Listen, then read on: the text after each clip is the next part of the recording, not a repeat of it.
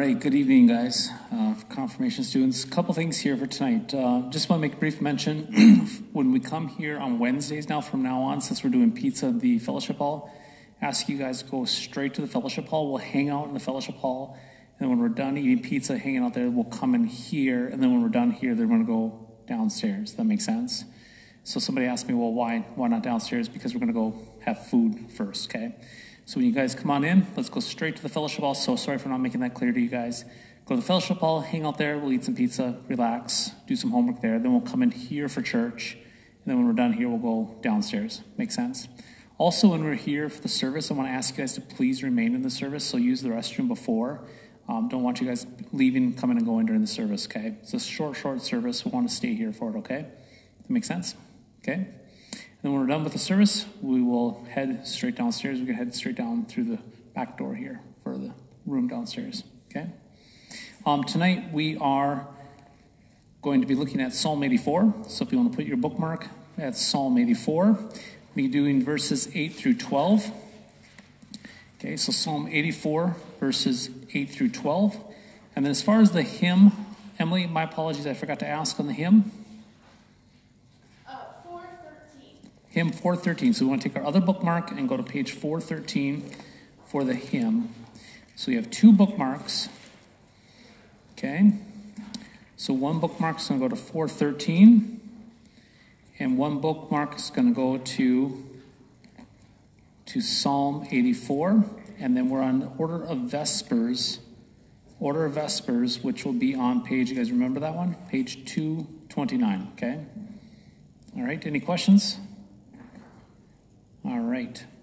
Let's stand and we'll turn to page 229 for the order of Vespers.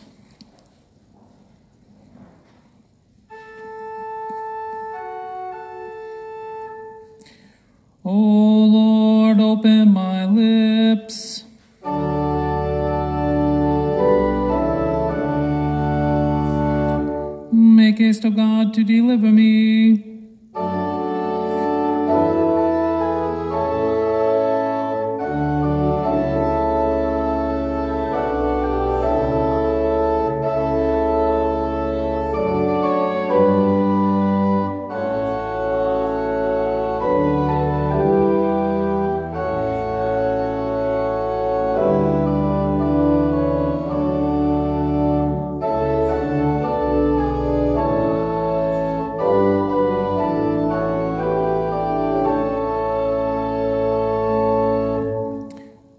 24, verses 8 through 12.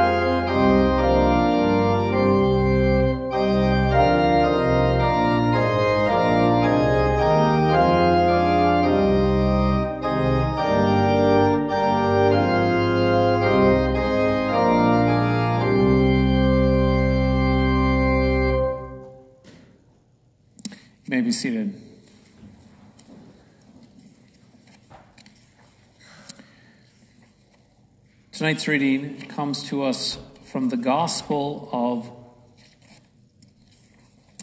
Gospel of Matthew, the 17th chapter, the Transfiguration of the Lord. After six days, Jesus took with him Peter and James and John, his brother, and led them up a high mountain by themselves. And he was transfigured before them, and his face shone like the sun, and his clothes became white as light. And behold, there appeared to them Moses and Elijah talking with him. And Peter said to Jesus, Lord, it is good that we are here. If you wish, I will make three tents here one for you, and one for Moses, and one for Elijah. He was still speaking when, behold, a bright cloud overshadowed them, and a voice from the cloud said, This is my beloved Son, with whom I am well pleased. Listen to him. When the disciples heard this, they fell on their faces and were terrified.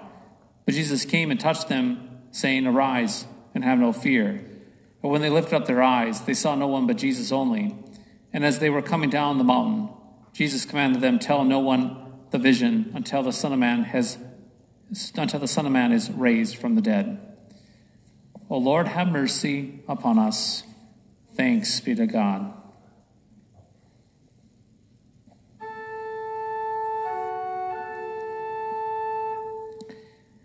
Teach me your way, O Lord, that I may walk in your truth.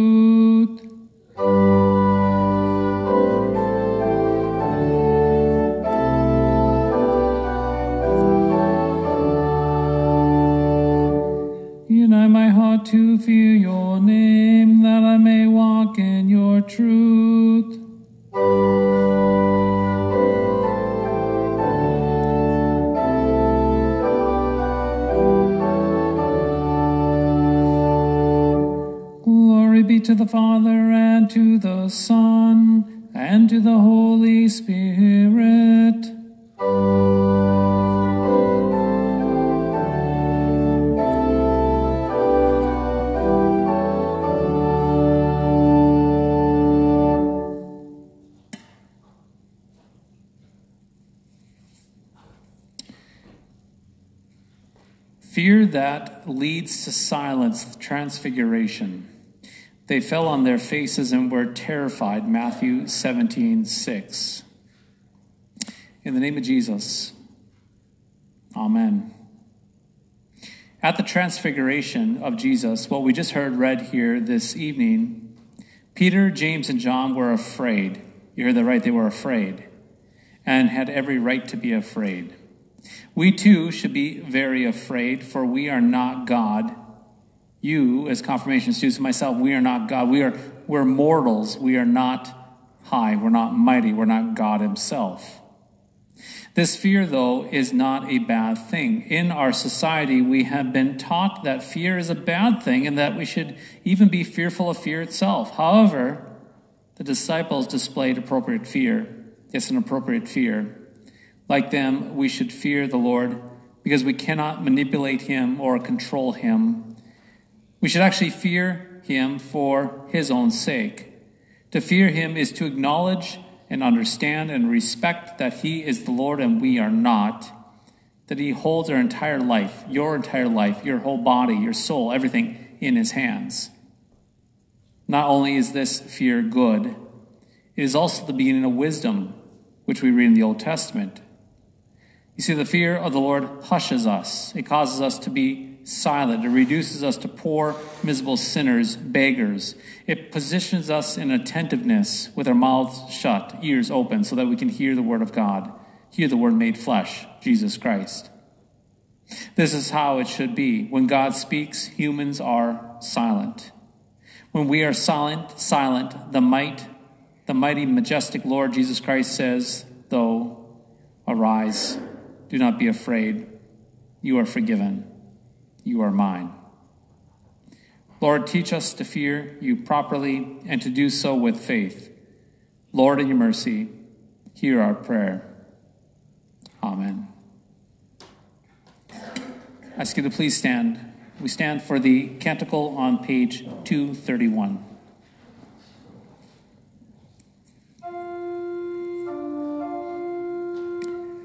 Have prayer rise before you as incense.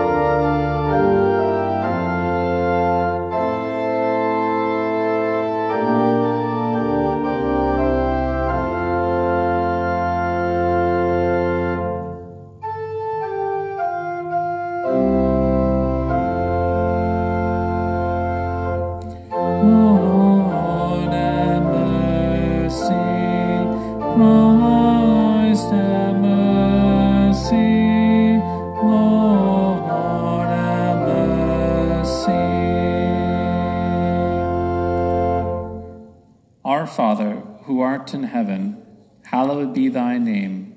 Thy kingdom come, thy will be done, on earth as it is in heaven. Give us this day our daily bread, and forgive us our trespasses, as we forgive those who trespass against us. And lead us not into temptation, but deliver us from evil. For thine is the kingdom, and the power, and the glory, forever and ever. Amen. The Lord be with you.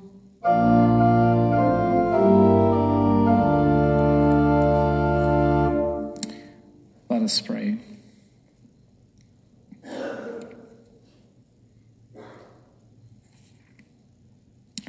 Almighty and everlasting God, through your Son, you have promised us forgiveness of sins and everlasting life. Govern our hearts by your Holy Spirit that, are, that in our daily need, and especially in all times of temptation, we may seek your help, and by a true and lively faith in your word, obtain all that you have promised. Lord, in your mercy, hear our prayer. Lighten our darkness, O Lord, and by your great mercy, defend us from all the perils and dangers of this coming night. Lord, in your mercy, hear our prayer. Merciful Father, through holy baptism, you called us to be your own possession. Grant that our lives may evidence the working of your Holy Spirit in love and joy and peace and patience, kindness, goodness, faithfulness, gentleness, and self control, according to the image of your only begotten Son, Jesus Christ, our Savior. Lord, in your mercy, hear our prayer. Lord God Almighty, even as you bless your servants with various unique gifts of the Holy Spirit, continue to grant us the grace to use them always to your honor and glory. Lord, in your mercy, hear our prayer. O Lord, from whom come all holy desires, all good counsels, and all just works, Give to us, your servants, that peace which the world cannot give, that our hearts may be set to obey your commandments, and also that we, being defended from the fear of our enemies, may live in peace and quietness through Jesus Christ, your Son, our Lord, who lives and reigns with you in the Holy Spirit, one God now and forever.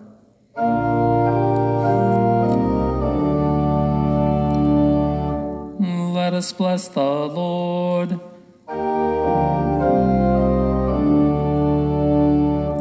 The grace of our Lord Jesus Christ and the love of God and the communion of the Holy Spirit be with you all. All